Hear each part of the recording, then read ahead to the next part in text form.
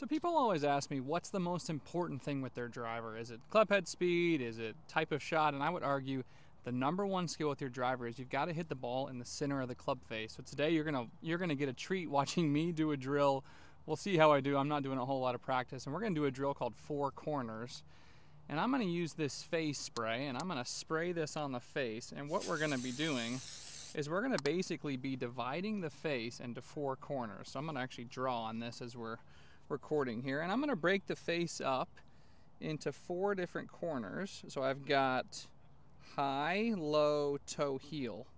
So we've got high toe, low toe, uh, high heel, and low heel. So most of the time when someone's hitting their, their driver bad, they're just hitting it all over the face. It's not necessarily that their path is terrible.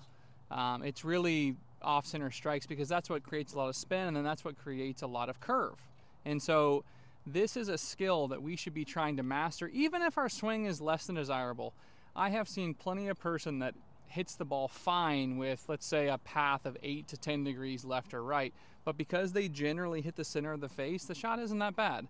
So if we can train this skill, then I think you're gonna you're gonna definitely see some lower scores. So let's jump into it, and and I'm gonna kind of walk you through how I do this and I and I'll bring the I'll bring the driver back after every shot. And I'm not saying I'm to nail this thing, but I'm definitely to try. So let's start with a low toe strike. So low toe strike is to be this bottom right corner right here.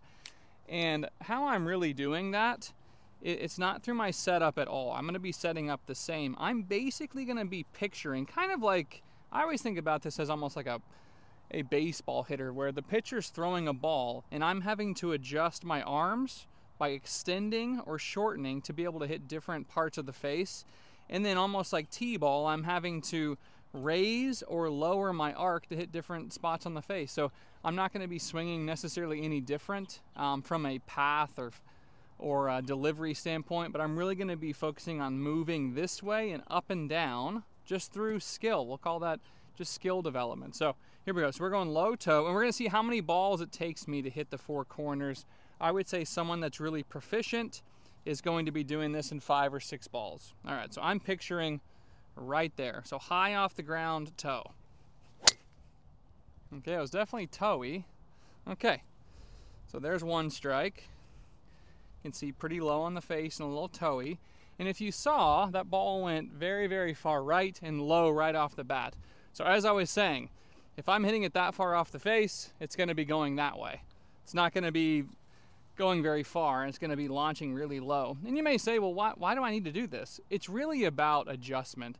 If you're playing and you're noticing that you're hitting high heel all day and you can do something like this and move it to the low toe strike, then you're going to hit the ball a lot different. What I see is people generally miss in the same spot every single shot. So doing something like this kind of train someone to be able to move that contact point very, very minusculely, which generally will, um, will help them find the center. Okay, so let's go extreme. So I'm gonna go, uh, let's go high heel. So high heel is going to be this uh, top left box.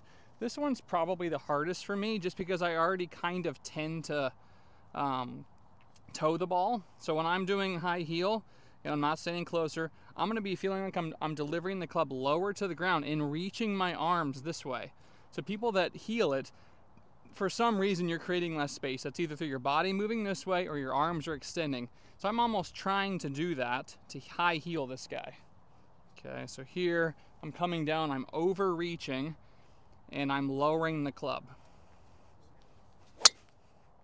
Ooh, that felt really high heel. Okay, man, I'm on fire today. You're probably thinking this is some AI CG thing. So there's high heel. And if we were like touching the lines, that's totally fine. So yeah, I'm really happy with that. You can see the T strike there is pretty high on the face. And again, this is all done through the radius of my arms. I'm not necessarily trying to swing a whole lot different. Now I might be, but I'm not necessarily trying to do that. Okay, so we're two for two. Now we're gonna go, let's go high toe just to constantly be changing the pattern here. So as we set up, now I'm trying to shorten the radius of my arms. So as I shorten the radius of my arms, the club is going to be closer to me. But if I do that, I got to make sure I don't raise the club up or I would hit low toe again. So I have to feel like I'm almost hitting driver off the deck and the club is close to me. Frequently when someone's missing off the heel and I want them to toe, I'll have them literally swing and miss the ball on the inside because if they miss the ball on the inside, they would they would be much much closer to toeing it. A lot of people really heel their driver. Okay, we're going high toe. Four corners, we're two for two. I'm getting nervous. There's the feeling. Oh my gosh. I almost missed the ball. Okay, pretty close. That's my normal miss. You can see that's pretty high toe. I might be a little bit close.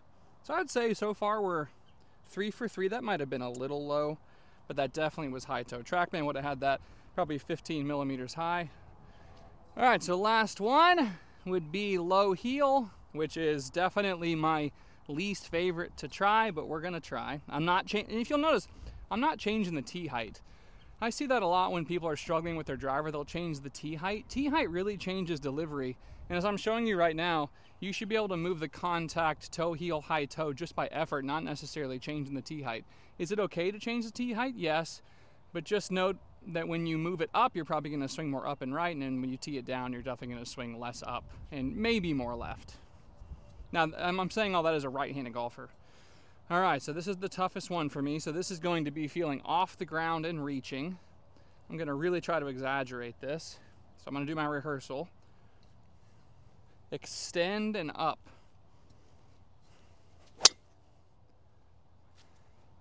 Ah, okay. We'll do that one again here in a second. You can see very heely, but a little high in the face.